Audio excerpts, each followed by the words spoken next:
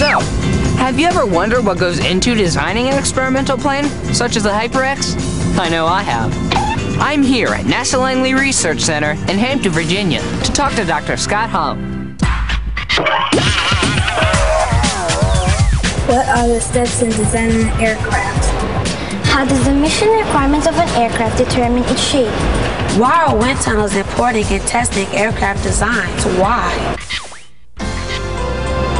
Hi, Dan. Hey, HyperX is definitely a very exciting program. In my job, I use wind tunnels to determine the flying characteristics of a variety of different vehicles that fly many times faster than the speed of sound, like the HyperX. Here, the exciting part of the HyperX program is that it's truly pioneering. That means no one's ever done it before, so we have to blaze the trail. NASA sure has blazed many trails. How do they do it? The first thing you have to do when blazing a trail is to determine a mission or where you want to go. We develop a set of requirements for the vehicle, and then we begin a process of designing a vehicle to meet that mission. Have you ever been to an air show to see a bunch of different airplanes? Yeah, some planes are short, some are long and slender, some fly slow, and some fly fast. You're right. They look and perform differently because they were designed to satisfy different missions. For the HyperX program, our mission is to have it fly very fast. We also want to be able to control it, and we want it to be able to propel itself. You see, NASA has many years of experience testing fundamental shapes to understand and document how those shapes, we call them geometries, respond to the airflow at various speeds. Let me show you. The Apollo capsules used to bring the astronauts back to Earth after their trips to the moon were designed as blunt bodies.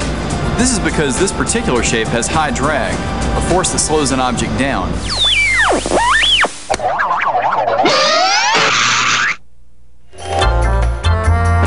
The blunt body creates the drag needed to deploy the drogue parachute, followed by the main parachutes.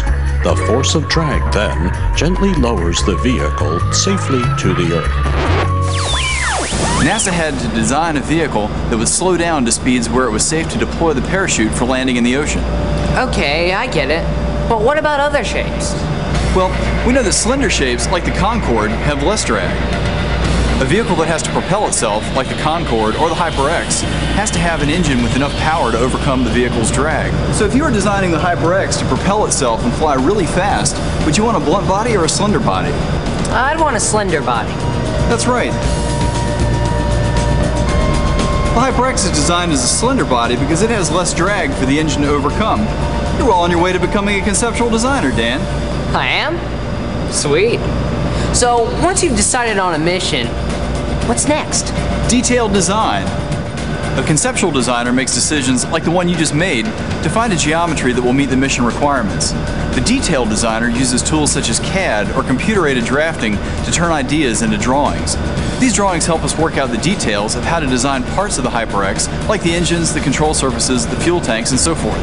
Once we have an initial design, we begin a process to improve it. We compare the design of the HyperX to other vehicles with similar characteristics. We may need to make changes to the geometry to improve the performance. How do you know if you need to change the shape? One way is conducting wind tunnel tests. You see, during the design and computer modeling stages, we extensively used our wind tunnels to quickly screen our HyperX designs. And then, the wind tunnel tests helped us to determine the best design and to understand how the vehicle will fly. Okay, so what is a wind tunnel? Wind tunnels are devices that allow us to move air over a scale model of a flight vehicle, like the HyperX. We use models instead of the real vehicle because they're smaller, less expensive, and easier to change if needed.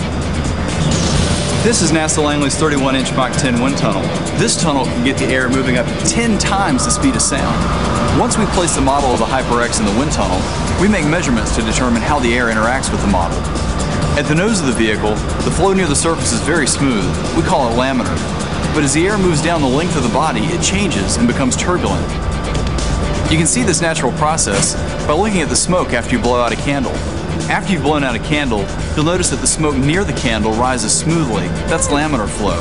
But farther away from the candle, you'll notice it becomes rough and irregular. That's turbulent flow. Normally, we think of laminar flow when designing aerodynamic shapes. We want the air to flow smoothly around them. However, for the HyperX geometry, we require turbulent flow.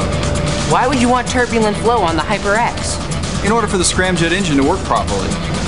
You see, turbulent airflow enhances the mixing of the air with the hydrogen fuel for better engine performance. Turbulent airflow is created by a device called a trip located underneath the belly of the HyperX. Using the wind tunnel, we tested several trips with different shapes or geometries to see which one worked best to change the airflow from laminar to turbulent. Our wind tunnel test determined that this triangular shaped trip was the best design for creating turbulent flow for the scramjet engine on this vehicle. How do you test the scramjet engine? We have specialized wind tunnels capable of testing scramjets, but the ultimate proof of the HyperX is flight testing. That's the last phase in designing an aircraft. NASA conducts all of its flight tests on aircraft at the NASA Dryden Flight Research Center in Edwards, California. Thanks, Scott. We'll visit NASA Dryden Flight Research Center later in the show.